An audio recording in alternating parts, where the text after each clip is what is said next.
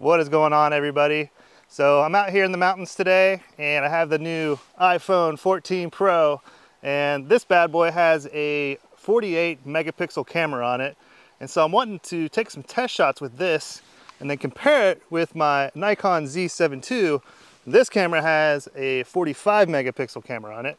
And so not all three cameras on the, the new iPhone Pro have that 48 megapixel sensor. I think it's only the normal one, so it's like a 24 millimeter equivalent. And on my Nikon, I have the 24 to 120 millimeter lens on. So I'll shoot this at 24 millimeters. And that way we have uh, a comparable focal length to uh, compare some test shots with.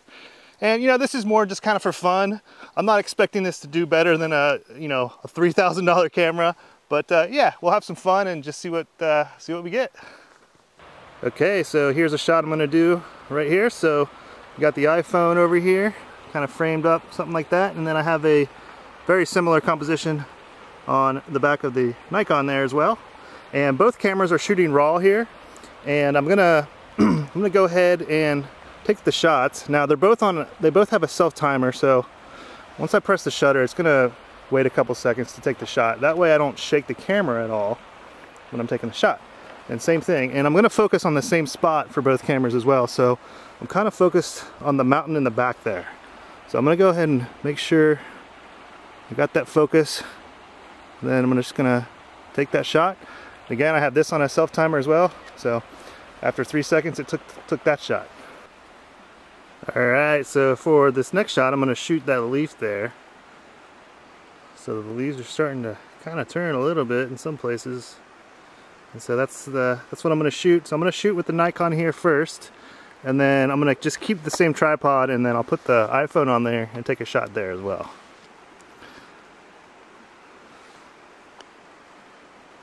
Okay, so now I have the uh, iPhone set up, so I'm just gonna make sure I'm focused on the leaf there, and we'll take a shot. Okay, so now for this shot, I turn the camera vertically and you can see we got that uh, nice reflection here of the trees and then the mountain there. And there's a little bit of light hitting up there too which is kind of nice.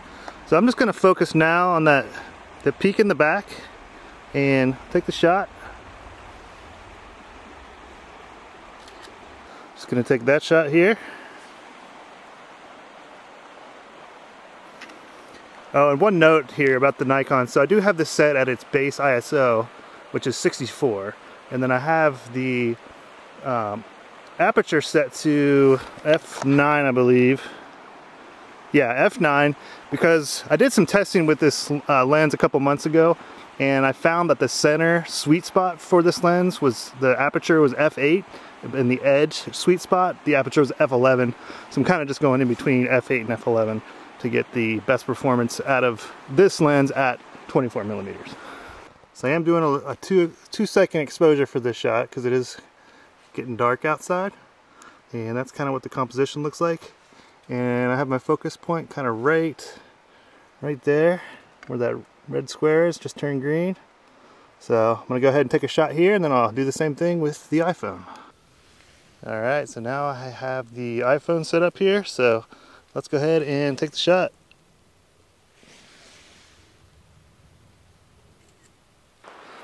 All right, I think that's enough shots for tonight, so let's head back to the computer and compare the results.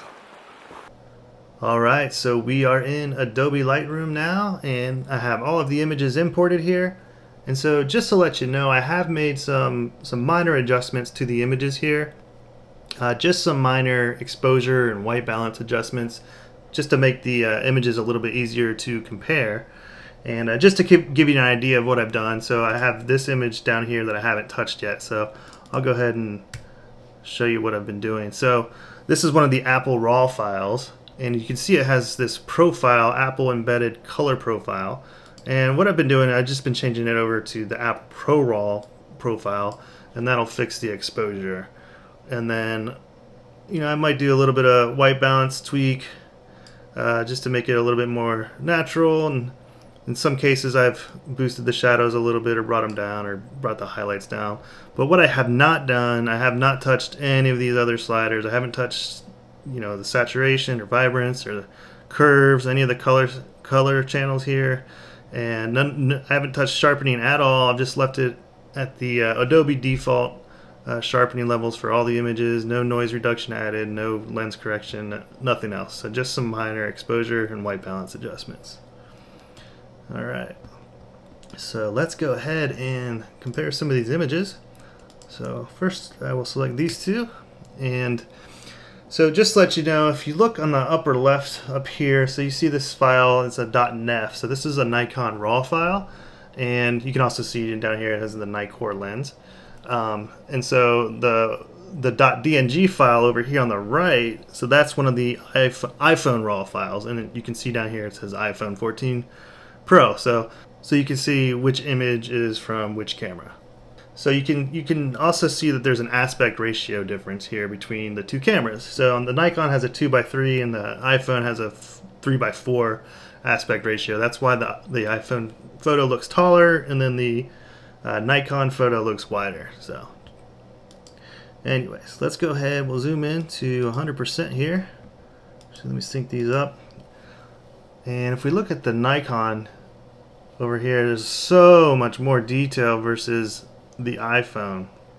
So the, the, the trees over, so this is where I focus for uh, both images and the iPhone just looks soft and kind of mushy back here, whereas the Nikon is still bringing in so much detail back there. And then same thing with like uh, this tree. Um, on the iPhone, it looks pretty soft, and the uh, Nikon looks nice and sharp. So there is a very noticeable difference between the two cameras, which honestly makes me kind of happy because I spent a lot of money on my Nikon gear. And so I definitely am glad that it performed better than you know a smartphone. But the the phone does for a phone. It, I think it looks pretty good though. I mean, especially you know if you're zoomed out, it's a lot harder to tell the difference between the two images. But once you kind of zoom in, it's it's definitely noticeable. All right, let's look at the the leaf photo here. So select both of these and bring these in. And let me actually uh, bring this over. Oh yeah, so another huge difference here.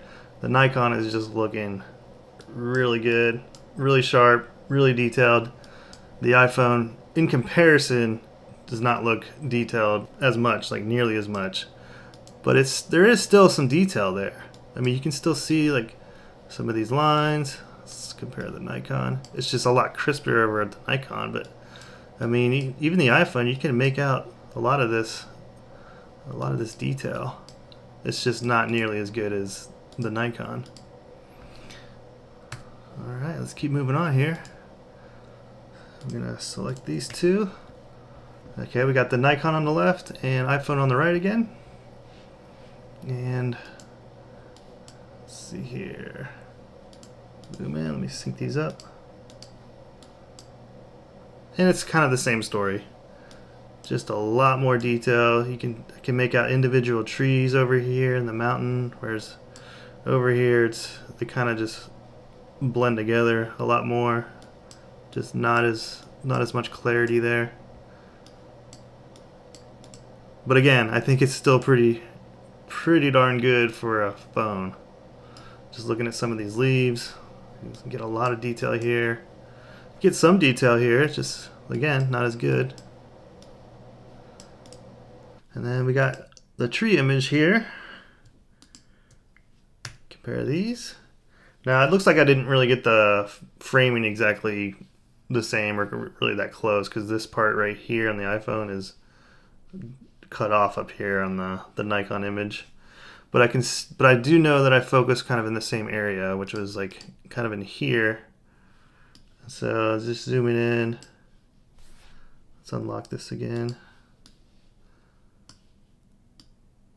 Yeah, it is just a, a really big, really big difference between the two images.